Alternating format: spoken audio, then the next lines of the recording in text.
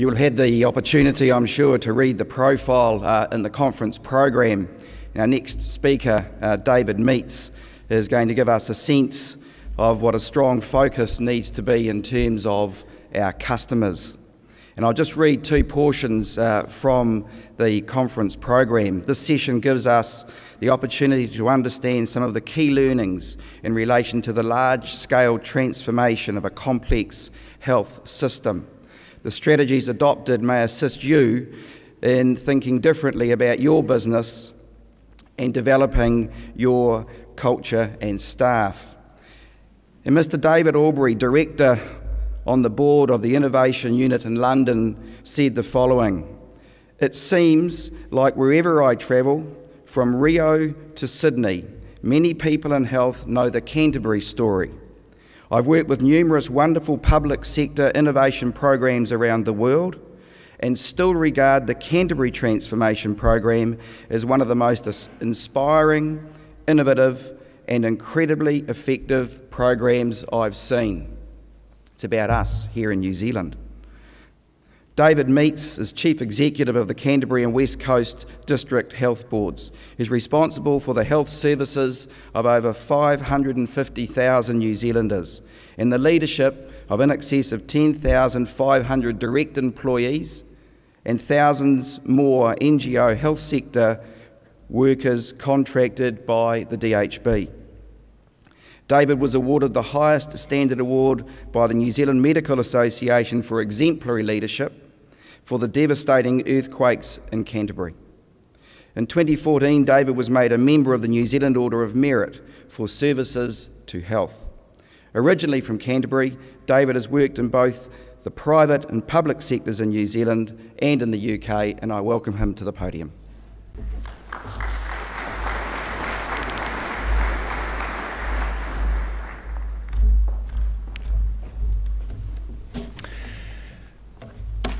Right, I'm going to hopefully take you on a journey and uh, give you a bit of a sense of a old economy transforming itself into a new way of doing things. And while health is somewhat different, there are a lot of synergies. And again, there may be some learnings and observations um, for you. But one of the things um, to start off with is so often, when we have the future, and if the future is out there, we have our backs to the future and we continue to try and solve the problems of the future in the context of the past. And everything that has shaped who we are today, all our training and experiences, we try and apply those to the future. And increasingly, we're needing to be turning ourselves focused onto the future and solving problems in the context of the future, not the past. And that, again, is one of the biggest challenges um, I think um, all of us are going to continue to face. But first of all, before I start the journey, just to give a bit of context about um, who we are. As a district health board, uh, we're one of 20 um, across New Zealand, second largest uh, in New Zealand by both, both by population and size. But the core function of a district health board is actually the planning and funding of its health services for its community. As touched on, um, the Canterbury population were also responsible for the West Coast and from the 1st of July this year also the Chathams. Responsible for about 1.5 billion of funding, about 10,000 um, direct employees, but also the District Health Board funds about 55%, uh, 55% of all general practice income, about the same for community pharmacies. By and large, most of the aged residential care sector is funded through the District Health Board and hundreds of NGOs. And we're also an accidental operator and owner of some large hospitals. But actually, a District Health Board is not a district hospital board. And it is something that, in fact, um, one of the things that is uh, particularly uh, poorly understood, and I think it's a reflection of often how health we engage with our communities. So, like every good journey, it has a starting point. And for the Canterbury Health System, we started somewhere back in about 2007 with a very fragmented, disjointed system, with hundreds of small businesses called general practice community pharmacies, NGOs, um, working and operating in quite different ways. And in the hospital part of our system, all of the professional tribes and silos, well and truly alive. The one thing that was totally missing from that was really a real sense of community and the importance of the individual. If we carried on doing what we were doing in 2007, we were going to need to build another hospital the same size as Christchurch Hospital. We're also going to need a further 20% more general practice. And if we carried on doing what we were doing in 2007, we were going to need to build another 2,000 aged residential care beds. And even if that was possible and we could afford all of that, the big challenge was going to be where, in fact, we would get the workforce from. And it's interesting to note our oldest uh, nurse working in the Canterbury Health System today is 82. So something had to change. And the beginning part of um, change is you've actually got to be clear about where it is you're trying to go to. We started off with creating a shared vision of actually what an integrated health system was. This was not about a few people waking up one day and having some brilliant ideas and thinking, actually, we'll describe what an integrated health system is and then impose it on everyone. This is a process that involved thousands of people across the community and also those that work worked in health to start defining and describing what an integrated system looked like. And one of the things you'll notice with this is actually the home is at the centre of a health system. So when we talk about health, it's actually everything that you impact on our communities, which is really important. In describing that, it's a system centred around people, um, that's a connected health system, centred around people, and one that aims not to waste their time. And health, like many other sectors, has been fantastic at building in weight and wastage into everything that we do, and we've always justified that as actually that's a good thing to do. So you're going to get a wee sense of one of the new metrics that has been emerging in the Canterbury health system is time and patients' time. Now, one of the things that I did forget to mention is that you're going to start hearing me talk less about a district health board, but what more about a Canterbury health system. The reason for that is actually the hundreds of small businesses that work with us to deliver an integrated health system need to have that sense of being included and embraced. And the importance of language to give meaning to what you're doing is really, really important. So, the journey, our pathway of transformation of actually fundamentally reorientating a health system that used to be, have hospitals at the centre of, of what it used to do to one where the home, the family, the individual is the most important. Underpinning the vision have been three very simple strategic goals. If you're really going to have um, healthy communities, then in fact, one of your core strategic goals, or one of our strategic goals, is to enable and support people to take greater um, responsibility for their own health not continuing to preach at them or telling them what to do and what's right for them, but actively engaging them in a very different way of thinking about how to take greater responsibility for your own health. If you're going to support people to stay well in their own homes and the communities, the fundamental bit of actually the development of primary and community services that are organised and connected to support and enable you to stay well in your own home. And the third goal is that if people require hospital level care, it's because it's the right place for them to uh, be. But actually, the role of a hospital is actually to support primary and community care to keep people well in their own home. And what you're going to continue to hear is this ongoing re, um, you know, kind of realignment of actually what the core drivers in the Canterbury health system are. But you can't just wake up and hope that's going to change. You've actually got to do something different.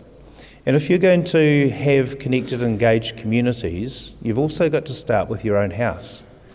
And actually, if you haven't got a workforce that has and is brought into a different way of working, then you can engage with communities all you like, and it will be much more of a doing to and a talking past. But underpinning the vision and sitting behind the strategic goals is a new way of working based on trust. We talk about the Canterbury health system in terms of one health system, one budget. Indeed, it is neither, but actually, we've given meaning to that in terms of having hundreds of small businesses working and operating as though they were one. And I'll touch on again a wee bit later of how we've bound those organisations together. It's also about people right care, right time, right place. It is less about which organisation is providing the care, and we're increasingly blurring the, blurring the boundaries between who is doing what. If it's the right thing to do in the home, or in the community, or anywhere else, then that is actually the right place to be doing it. The role of the District Health Board is to plan and fund the services for its community. Our other core function is to enable those working in the health system to do the right thing. And that's removing all of the barriers and the issues and the things that get in the way of people doing the right thing. And the other bit is actually taking a whole of system approach. And that increasingly is again using data and information to plan, change, and deliver uh, very different services. So sitting behind that is the whole reframing of health. As health is about is not about hospitals, but it is about resilient systems. Again, if you're going to fundamentally change the way that you're approaching things, you've got to make some very deliberate decisions and investments in supporting and enabling those that work with you to do something different. And up there is a whole range of different programs and, and um, very deliberate investments that we have made over the um, past seven years. One of the, and I'm going to touch on a few of those, but one of the misnomers um, in Canterbury, or outside of Canterbury, is that actually health has started shifting in Canterbury as a result of the earthquakes. One of the things that is very clear is that we were working in a very different way before the earthquakes, which is the reason why the health system in Canterbury didn't implode. And in fact, the earthquakes have slowed our transformation down, and that is a different set of challenges, again, how we continue to evolve and develop with that.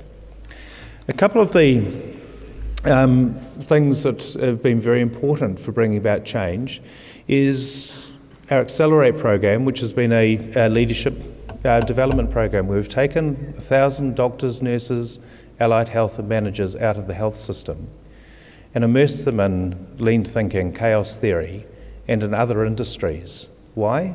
Because actually, if we stayed just people focused within health, we continue to bring all the baggage that we had yesterday, all the constrained thinking. What we wanted to do was take people out of their ordinary lives and expose them to some of the best and different thinking, and then to bring them back into health, then to deliver some major change. And as part of that, those thousand people also have graduated from the program with a permission card that is signed by me, which enables them to play that permission card to remove any barrier that is in their way to delivering the agreed project. It is not, however, the ability to commit resource for the organisation of the system. It is actually about giving meaning to saying you are empowered to do. Seeing 2020 back in 2000, um, 2008 started to get people imagining what a different future would be. What was 2020? Why we went to 2020 was we didn't want to get too far ahead of ourselves, but we wanted to have a sense that it was going to be different, but we needed to start describing what that difference was. And this is the beginning parts of starting to engage people right across the health system and our community in Canterbury, starting to describe what they wanted or what they saw as a really high functioning integrated health system. The Canterbury Initiative, we've also invested in sustainable innovation processes where we have a number of GPs partnered and employed with um, engineers. Why engineers? Because actually, engineers are absolutely fantastic on process. Clinicians are absolutely great with the individual they have in front of them. And what we're needing to do was to marry a very different way of thinking and designing systems. The other bit is actually if you're going to change the way that things were happening, was needing to get agreement between different parts of a health system how they were going to function and provide care. And one of the things that we've created is a process called Health Pathways, which describes all of the agreements about how primary and secondary care work and deliver a whole range of conditions. The result of that is that we now have standardised primary care in Canterbury so that no matter where you go, you will get the same advice, the same treatment, and all of our general practice teams are able to order and um, X-ray, you know, kind of um, MRIs, CTs, the whole lot. All of it is geared around how to keep people in their own home. They also organise and trigger off all of the home-based support care, and uh, again organising your care to stay in your own home. Today we have 761 of those pathways live. It is today, the health pathways are now affecting 24 million people. Um, and if you work out, New Zealand's only got four and a bit million. So we're now currently in every state in Australia, and the state of um, Alberta in Canada is just about to adopt the full health pathways. And all of that machinery and engineering and um, processing is actually driven through from Canterbury. Just in the Canterbury context, there's 1.3 million views of that that are accessed any, at any point in a year. The important thing with Health Pathways, we did not make it compulsory to use. If we had come from a basis as actually you as a general practice team have to use that, we would still be in the trenches fighting. We came from the view as how could we make your job easier to do on Monday? by in fact organising things in a way that intuitively worked with our practice teams. Electronic um, request management, we're removing away from the, the whole concept of referrals because actually referrals often means shifting one problem to somewhere else. As opposed to saying, I need some further input or some advice or expertise from someone else to do what we're doing. So today there are 22, 222,000 um, electronic requests um, happened last year, and it enables general practice from anywhere to um, provide support. Sitting under this, we've developed and designed a system in conjunction with Pegasus, which is one of our partners in the Canterbury Health System, that has actually connected general practice to every part of the health system, whether it be public or private so it includes private physios, OTs, the private hospitals, and also is very clear about who's funding what, whether it's the District Health Board, which we're the predominant funder, but ACC, private insurance, or indeed been really clear we do not fund this, and, um, and that is something that you would pay as an individual.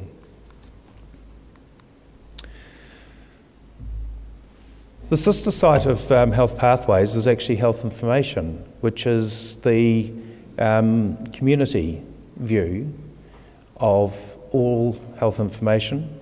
And that enables, has become the trusted site for all health information for our community, is that if you're needing to go and find out about any condition or disease, this is where all of the international and local um, details and information are pulled together.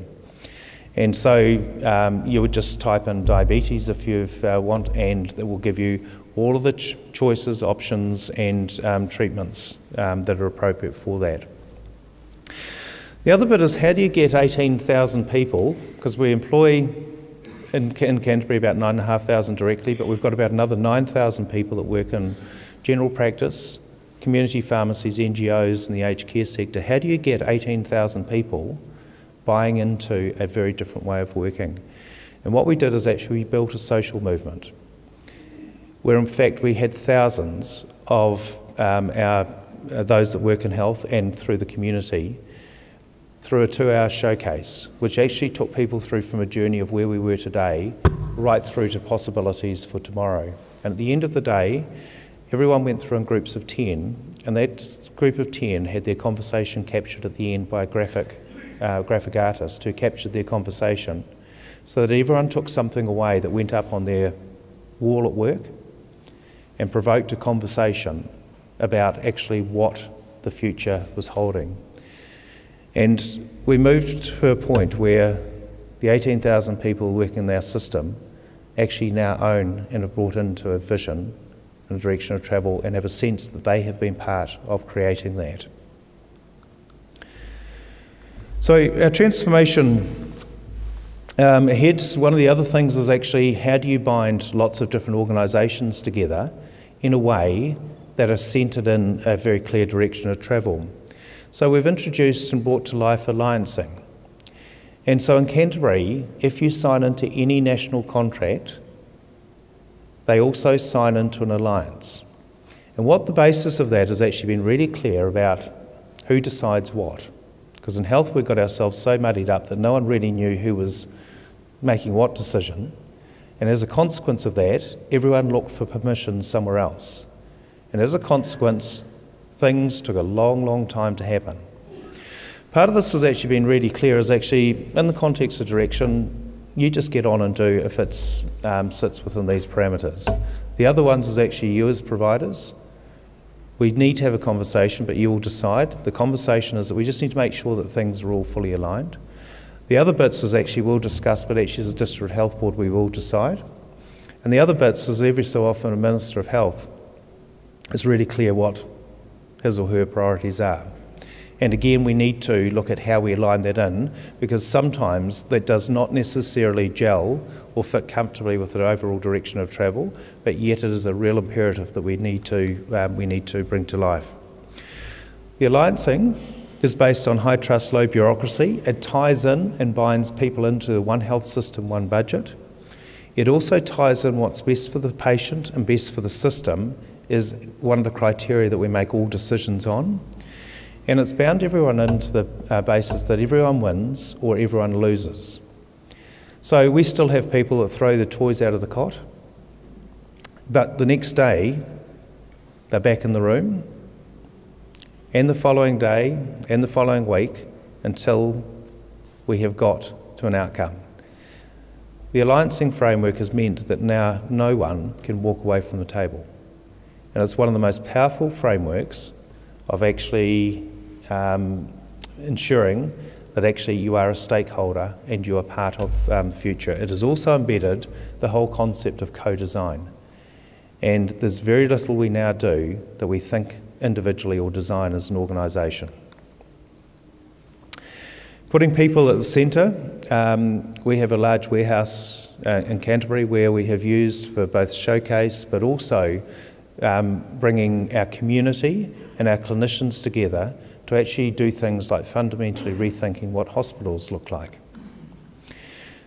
This is the beginning part of actually starting to um, build and design using cardboard what a totally different new ward configuration will be um, in, in Canterbury. And already this is being picked up um, both in the US and in Europe as a fundamental alternative to single room hospitals.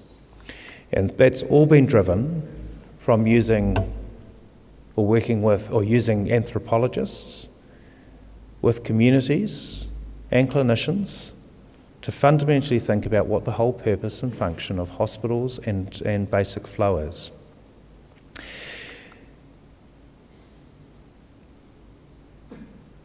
Those that use health services actually challenge the, what we thought were absolute um, sacred cows.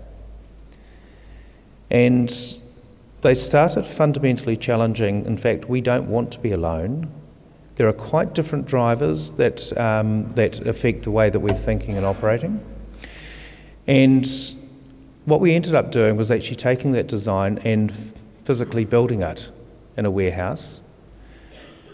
And this here is also in a warehouse where we had thousands of people over many weekends with different clinicians running different scenarios to actually work out actually does this work and is this delivering on what, um, on what we require. So the Burwood Hospital, we're just in the process of, um, that will be completed by um, May next year. It's a 230 bed hospital. But one of the most critical things of that, it is actually a rehab facility that has been co-designed with our community. Irene is a elderly lady in our community who's since died. She and thousands of others have been fundamental in actually rethinking, rechallenging, and enabling and bringing to life a very, very different way of thinking about health. Some of the other bits is if you're going to change the way you're doing things, again, you've got to do things differently.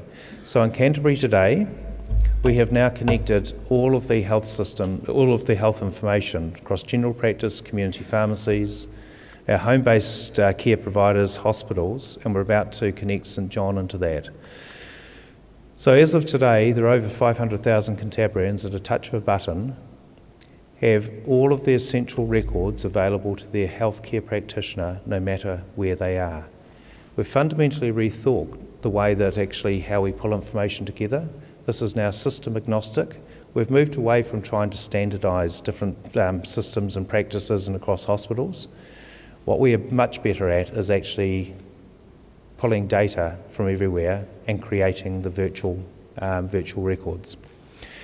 This here is actually being picked up and rolled out through Northern Ireland and a number of other places um, overseas at the moment. Data, it is something that is going to be part of all of our lives of how we use increasingly large data from multiple different sources to fundamentally rethink the way that we put services together. And if I was to think about public services across most of New Zealand, if you started off with a blank sheet of paper and truly came from a citizen centric framework, we probably wouldn't have put the services together in a way that we've done today. And I think that's increasing one of our challenges is how we co design future frameworks with our communities um, and letting go a number of things that we think we need to control to deliver an outcome. With our large data, today we're running a large proportion of the Canterbury Health System with real lifetime data. I know today, and, and, and could pull up here in terms of what's happening in our emergency department at Christchurch Hospital, where individual patients are flowing through our system. We can try something today and know whether we're making a difference tomorrow and in a week's time with some of the large statistical data sets that we're using. And again, it's starting to fundamentally reframe the way that we think about how we put services together. Just about everything we thought we were fixing in the past has probably been wrong. And most of the answers lie in data and turning data into information that actually has meaning. And this is just an example of increasingly pathways where we have metrics capturing and reflecting every step along the way. Are we making a difference? And most importantly, are we stopping to waste your time? There's another few key programs that we've done, again, in terms of changing and giving meaning to doing things differently. Our acute demand management program, this last year, we managed 30,000 people in a community setting that anywhere else in New Zealand would have ended up in an emergency department or been admitted into hospital.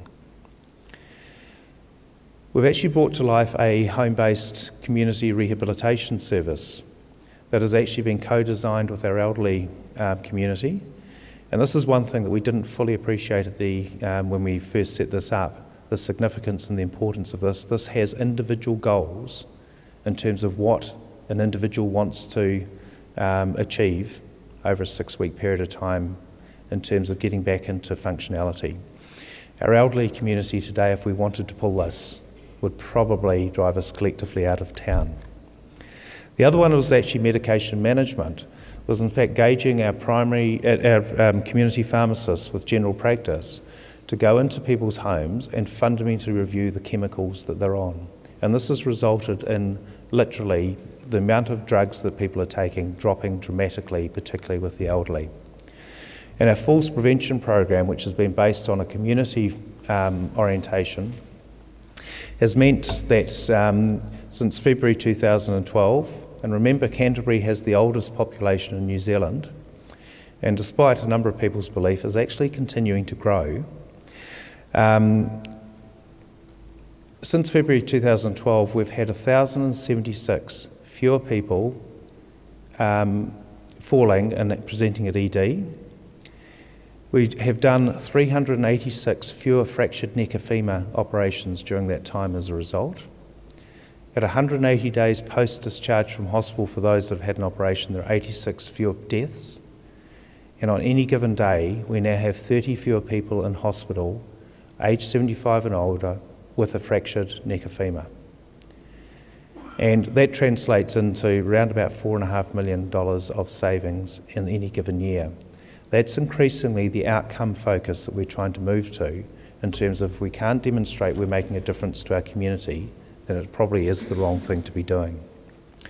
So, integration and the journey we're on, what does it mean for people? Because actually, if it doesn't make a difference, then it's a total waste of time.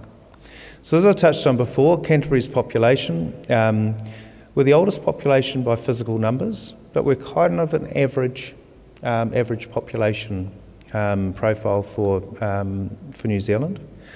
The challenge of a growing and ageing population is that actually, if we carry on or carried on doing what we're doing, it will result in system failure. The solution to growing ageing populations is actually to re envisage and redo and relook at how you provide services. And getting to a balanced, person centred, clinically and financially sustainable system is actually the core driver. So, are we doing that? In just four programs, we've taken 1.5 million days out of people waiting for care. That's just four programs. Increasingly, 43,000 GP referrals for diagnostic imaging are now delivered in the community that all used to be somewhere near a hospital. There are 500,000 Cantabrians getting their health record, but also the flip side of that is you're now less likely to be admitted into hospitals in Canterbury than anywhere else in New Zealand if you're medically unwell, to the tune of 30% fewer.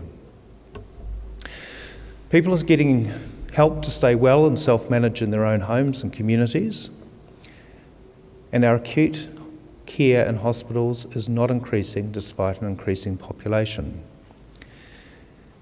In particular, older people get support stay, to stay well in their own home, so they don't need to go to ED. And this is for our over 65 population, remembering this is the largest and fastest growing part of our community. And this is actually starting to get a whole lot of interest worldwide because it is contrary to the direction of travel for most communities. The proportion of people attending ED is dropping or ending up in hospital. And if they do go to hospital, they're not staying as long, but they're also less likely to come back.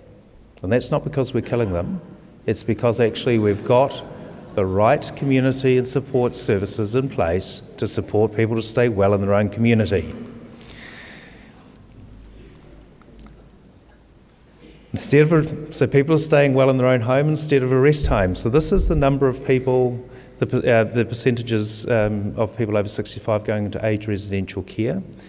And just remember, back in 2007, if we carried on what we were doing, we were going to need another 2,000 aged care beds. Today, there are 400 fewer people in aged residential care, halfway to our um, journey of 2020. And those that do go into aged residential care are now staying for less time. On average, people used to be in, um, in their 71 months. Now, it's averaging about 21 months, and that will continue to drop. And that's because actually the right care, the right options, and people have been supported to stay well in their own homes. Things like coronary obstructive pulmonary uh, disease. This last winter, it's one of the biggest dri- big drivers for hospital. We've managed 32% of people either in their own home or in a general practice setting as opposed to having to come to a hospital. In other words, what we're trying to do is to keep people in their own environment instead of an institution. As I said before, we're around about 30% less likely to be admitted medically unwell into a hospital in Canterbury. But that has meant our hospital capacity has been freed up to deliver more elective services. And halfway to 2020, we have now increased our elective service performance by 43% without one single increase in additional hospital beds. The key reason for that is again how to support people to be well back into their own communities instead of an institution. All of that is driven and centred in a very clear vision with some very clear strategies and um, decisions that have been made to bring to life a very different health system.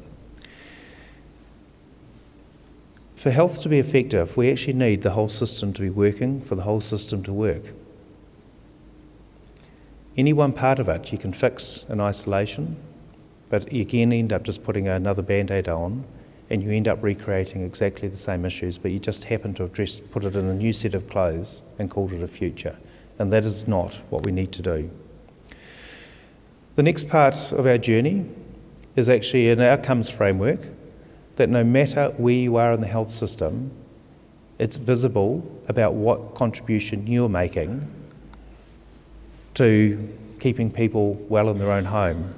And again, you'll come, you know, get the sense of connected right back to a clear vision. Canterbury people are well and healthy in their own homes, supported by connected health systems centred around people that aims not to waste their time and a whole range of other drivers that, in fact, drive all the key metrics of anywhere within the health system, and increasingly those will include the home. So, are we there yet?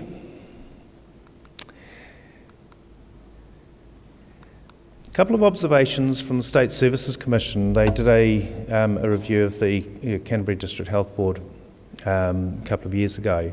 And a number of observations they made that was really important underpinning the transformation that we're doing is an organisation or a system that is customer focused and solicit ideas from and engage with diverse internal and external sources. One of our key expertise is we've got clear about our vision, direction of travel. Today, we're a wee bit better at diagnosing problems instead of symptoms and we've become absolute experts about never naming a solution. Because it took us a wee while to work out is every time you name a solution, you just invite 18 other 18,000 people to tell you why it's never going to work. And part of that is that actually it's because it's not mine, and where was I in that conversation? The other one is uh, leadership that is clear about what it's trying to achieve, but flexible about how to reach those goals. Actually, there's the direction of travel, this is the problem. We need you actually to solve or create the solution.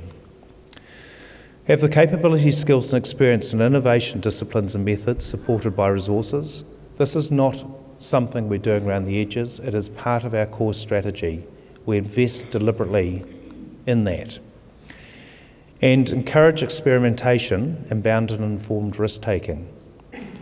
If we're going to try something, we want to know quickly if it's going to fail or succeed, and not to be punitive about things that don't work. It is just another amazing learning experience as long as we then just don't do it again and again. But just to put this into context too, the Office of the Auditor General has rated the CDHB in the top 4% of all public entities. The reason for just touching on that, this is not, this, there is very tight disciplines that sit behind all of this here, but again, the power of engaging a system to do the right thing. And some of the key learnings that have uh, you know, kind of really, um, you know, kind of really come through. Patient time is a key metric for what, um, you know, for performance embedding that in every single thing we do, because actually we spend so much time doing dumb things that actually make it hard for our communities to access care and to do the right things. The language we use connects and aligns. Groups to create purposeful identity, the importance of language is really critical. And I might use a word to describe something, and it will mean something totally different, probably to everyone else in this room. And if we don't have a common language, we will spend a lot of time talking past each other. Patient and staff stories to encourage. Continuous improvement are really important. Increasingly, we use our community or patients or staff to actually tell the stories in terms of actually bringing to life um, the, the difference they make. Creating a vision and key principles that shape our behaviour and actions is really fundamental. Reignite passion and commitment. If you have people that believe in a direction of travel and a vision because they have been part of creating it and it's theirs, they will make the imperfect perfect and they will go to whatever means it takes to actually make something work. Integrated networks trump traditional organisations hands down. You get, and we've got hundreds of organisations working for a common purpose when indeed they have no right necessary, or we have no expectation that they should have actually been able to do that. Share a problem to empower and trust the people to deliver the solution. We all have incredibly talented people that work in our organisations. Some of them are actually the most difficult people, and you just don't know how gifted they are sometimes. And it's stopping that, um, that desire at times to strangle people to in fact actually have them aligned and get them engaged in part of the solution. And that does take a wee bit of time and, um, and effort. And finally, shared experiences enhance engagement through learning um, application. I touched on before, David Albury and a number of others have made observations about what we're doing. What's been really interesting, we've been too busy doing to actually stop and necessarily sit back and think um, what we've been doing. But the one thing that is really important is not ever believing your own rhetoric.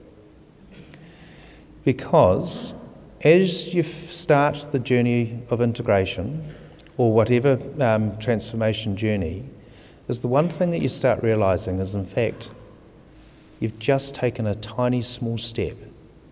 And in fact, you start dripping with options, potential to fundamentally do things better in a way that actually make a huge difference to a community. So are we there yet? The day we ever say we're there, we're probably in terminal decline.